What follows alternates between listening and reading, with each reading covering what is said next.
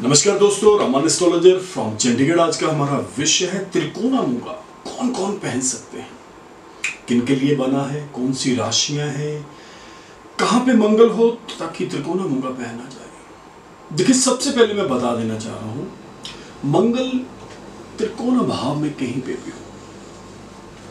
चार में हो, चतुर्थ भाव में हो, पंचम में हो जाए, नवम में, दशम में, बारहवें घर में तो त्रिकोणा मूँगा पहना अब नॉर्मल मूँगे से त्रिकोणा मूँगे का क्या फ़ायदा है? देखिए नॉर्मल मूँगा जो है, वो मंगल की जो पोजीशन है, उसको अलग अलग डिग्रियों के ऊपर देखना पड़ता है कि मंगल कितने डिग्रियों के ऊपर है। युवावस्था में है, बाल में है वृद्ध में है।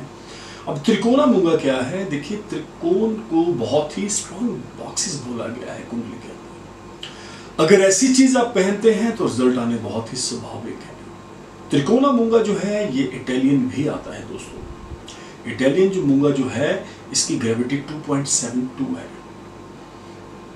अब मैं बता देना चाह रहा हूँ त्रिकोणे मूँगे के फ़ायदे क्या है। देखिए, वैसे तो मूँगा ही है, लेकिन मंगल त्रिकोण में होने से इसके जो फ़ायदे हैं और बढ़ जाते हैं। जैसे आपका आपके भाइयों के साथ डिस्प्यूट चल रहा हो, लड़ाई झगड़ा कला कलेश चल रहा हो तो बोलते हैं त्रिकोणा मूँगा धारण कर लेना चाहिए। आपकी जो प्रॉपर्टी है, अगर आप लिटिगेशन में कहीं फंस चुके हैं तो त्रिकोणा मूँगा सबसे उत्तम माना गया है। तो दोस्तों, और क्या क्या फ़ायदे हैं त्रिकोणा मूँगा के? देखिए, त्रिकोणा मूँगा जो है, मैं आपको बता देना चाह रहा हूँ कि ये मंगल का रतन है, मंगल साहस है कॉन्फिडेंस है एनर्जी है। तो मैं बताऊँगा आपको दोस्तों, और जो त्रिकोणा मूँगा है इसको मेटल क्या है? देखिए, इसको सोने में वहाँ तांबे में धारण किया जाता है। लोग चांदी में बहुत इसे धारण कर रहे हैं जबकि गलत है। तांबा मंगल का अपना धातु है, सोना भी उसका अपना धातु है। दिन है, मंगलवार, पूजा करवा के, शुद्ध करवा के लेपोटेड टेस्टेड आप डालिए तभी आपको फ़ायदा मिलेगा, वरना बिल्कुल भी नहीं मिलेगा। अब बात कर रहे हैं दोस्तों, त्रिकोणा मूँगा और क्या करेगा? शत्रु नाशक बोला गया है, अगर आपके शत्रु बहुत हो चुके हैं। क्यों? क्योंकि मंगल जो है, ये एक पराक्रम से रिलेटेड माना गया है।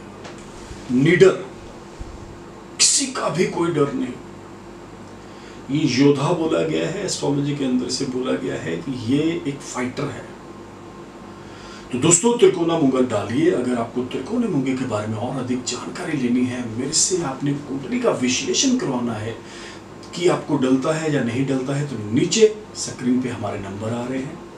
आप चंडीगढ़ पर्सनली आके भी मेरे से मिल सकते हैं और टेलीफोनिक अपॉइंटमेंट लेके भी टेलीफोन पे मेरे से ही आपकी बात होगी। दोस्तों, अगर आपको ये एपिसोड पसंद आया है तो इसे लाइक करें, शेयर करें, वह हमारा चैनल सब्सक्राइब करें।